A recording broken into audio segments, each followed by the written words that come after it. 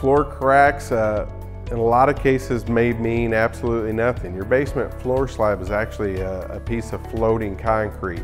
It's really only there uh, to keep you from walking into the dirt. It doesn't provide a, a, uh, a structural support of any kind. So when you're seeing cracking there, what that generally means is you've got too much moisture underneath that slab and during the wet periods of the year, that concrete is being pushed up from the swelling of the concrete and allowing those cracks to happen. Leaving that untreated could potentially let your basement leak or start to have a foundation problem. Cracking, sinking, uneven concrete slabs are dangerous hazards for you and your family.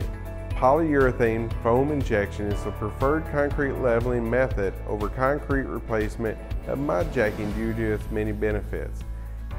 Helitech has been raising and leveling concrete for five decades. If you have any questions like this, please visit us at helitechonline.com and let us see how we can help you.